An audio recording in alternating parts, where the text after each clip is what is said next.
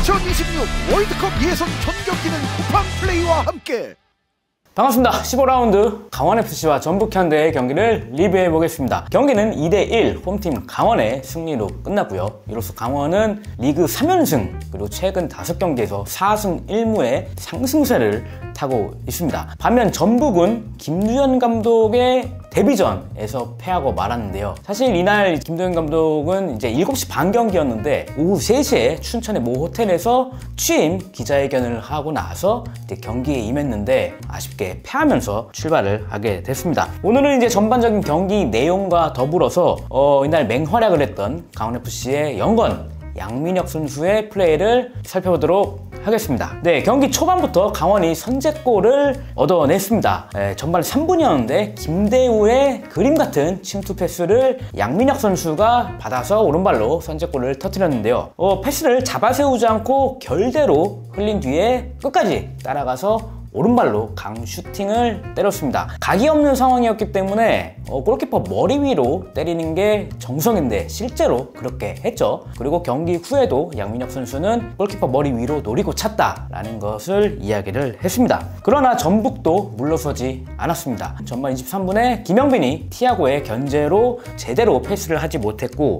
이를 김진수 선수가 끊어낸 다음에 중앙에 있던 이영재에게 패스를 했고 이영재가 자신의 장기인 왼발 슈팅으로 골망을 갈라버렸네요. 어, 지금 이 장면을 보시면은 김진수가 볼을 끊었기 때문에 강원 수비가 어, 조직을 제대로 이루지 못했고요. 결국 이영재는 계속 수비 방해를 받지 않고 슈팅까지 연결하는 모습을 보여줬고요. 워낙 킥이 좋은 선수기 때문에 뭐 수비 방해가 없고 공간이 확실히 생긴다면은 뭐 득점까지 올리는 것은 뭐 이영재 선수한테 크게 어려운 일이 아니었습니다. 양 팀은 전반전에 슈팅 하나씩을 때렸는데 이 슈팅들이 모두 득점으로 이어지면서 1대1 어, 비긴 채로 어, 전반을 마쳤고요. 후반전에는 경기의 흐름이 결정지었던 큰 변수가 발생을 했습니다. 어, 후반 7분 이 장면에서 황문기에게 파워를 가한 전병관 선수가 첫 번째 경고를 받았고요. 그리고 약 8분 뒤에 전북이 패스미스 이후에 전병관이 두 번째 경고를 받으면서 퇴장을 당하고 말았습니다. 황문계 바지를 잡아당겼죠. 네, 이때부터 수적 우위를 점한 강원이 공격에 무게를 두기 시작했고요. 시간이 갈수록 거의 뭐 반게임 하듯이 강원이 굉장히 공격적으로 나왔습니다. 어, 후반 21분에는 코너킥에 이은 공격에서 김대우 선수의 슈팅이 정태욱을 맞고 나갔고요. 2분 뒤에는 중앙선 아래에서 볼을 잡은 황문기가 단독 돌파 후에 위협적인 슈팅을 날렸습니다. 양 팀의 이 올 시즌 첫 만남에서 마지막 결승골이 되었던 그 강투지 선수가 치고 들어간 후에 오른발로 발로 때려내서 득점을 올렸던 그 장면과 굉장히 흡사한 장면이었는데요. 어쨌든 뭐 골까지 연결은 되지 않았고요. 그리고 이제 강원은 후반 25분에 윤석영 선수가 부상을 당하면서 나가고 강투지가 투입이 됐는데 이때 또 이제 센터백에 있던 이기혁 선수가 원래 이제 윤석영이 있었던 왼쪽 풀백 자리로 이동을 하면서 크로스의 그런 질을 좀 더 높여줬는데 이게 또 신의 한 수가 됐습니다. 들어가자마자 자리를 바꾸자마자 뭐 과감하게 시도한 크로스 그리고 뭐 한 수분 뒤에 또다시 위협적인 크로스를 날리면서 전북의 수비를 괴롭혔고요. 그리고 이날 결승골이 되었던 후반 32분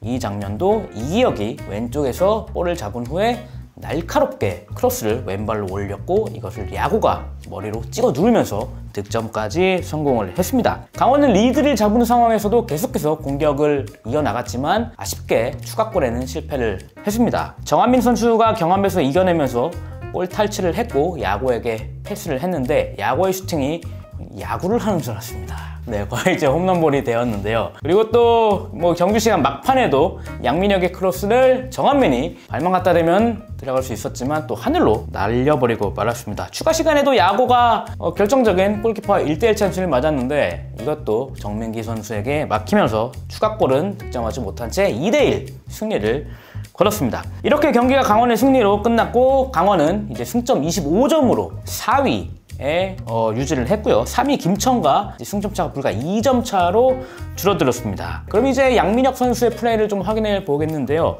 어, 이날 뭐 경기에서 좋았던 뭐 여러 가지 움직임들을 좀 살펴보겠습니다. 네, 이 장면에서는 이제 양민혁 선수 공간으로 툭 차서 수비를 따돌리는 장면인데요. 굉장히 뭐 스피드에도 자신 있고 뭐 공간 비었다는 것도 이해를 한 채 플레이를 하니까 이런 장면이 나온 것 같고요. 그리고 또 공격 시에 황문기 선수가 굉장히 또 위로 공격적으로 올라오는 장면이 강원에서 굉장히 올 시즌 많이 나오는데 이런 상황에서는 양민혁이 또 중앙에서 중앙으로 또 가담해서 미드필더 숫자를 늘려주는 역할도 하고 있고요. 그리고 또 두 선수 사이에서도 순간적인 움직임으로 두 선수를 한꺼번에 따돌리는 모습도 굉장히 인상적이었고 또 빈 공간을 찾아가는 이런 움직임들 그리고 볼 다루는 스킬도 굉장히 이제 18살의 선수, 고등학생 선수가 라는 것이 믿기지 않을 정도의 그런 활약이었습니다. 또 이 장면에서는 원터치 후에 공간을 침투를 했고 이것을 또 패스까지 연결하는 볼을 뺏기지 않고 연결하는 모습도 굉장히 어, 인상적이었습니다. 그리고 또 동료가 수비 방해 없이 중원에서 볼을 잡자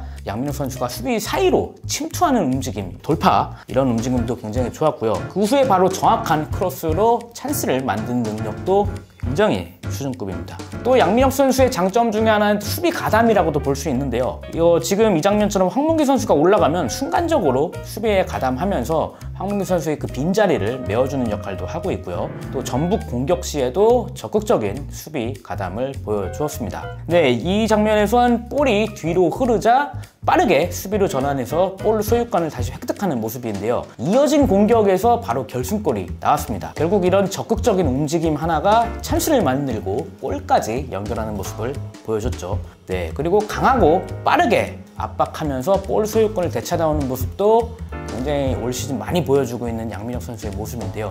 어, 2라운드 광주FC와의 원정 경기에서 양민혁 선수의 시즌 첫 골이 나올 때도 어, 빠르게 압박을 하면서 볼을 뺏어오면서 득점에 연결하는 그런 모습을 보여줬었잖아요. 네, 이날 경기에서도 그런 장면들이 좀 나왔는데 3분 그 선제골이 나오기 직전의 모습도 보시면은 강한 압박으로 다시 볼을 빼앗아 오면서 선제골의 그런 시작 역할을 했고요. 또 적극적인 압박으로 볼을 탈취하고 또 양발 드리블 이런 개인기까지 보여주는 18살이 믿기지 않는 플레이를 보여줬습니다. 수비 지역에서 볼을 잡아서 과감한 드리블 돌파도 했는데 또 이제 속도를 줄였다가 다시 가속하는 이런 움직임으로 수비를 따돌리려고 했지만 뭐 이 상황에서는 좀 터치라인 아웃이 되었죠. 그러나 이제 드리블 능력이 좋으니까 자신도 그걸 알고 있기 때문에 한번 시도할 만한 그런 상황이었다고 볼 수 있습니다. 네, 이렇게 양민혁 선수의 활약을 어, 살펴봤고요. 그럼 저희는 다음 시간에 다시 찾아뵙겠습니다. 감사합니다.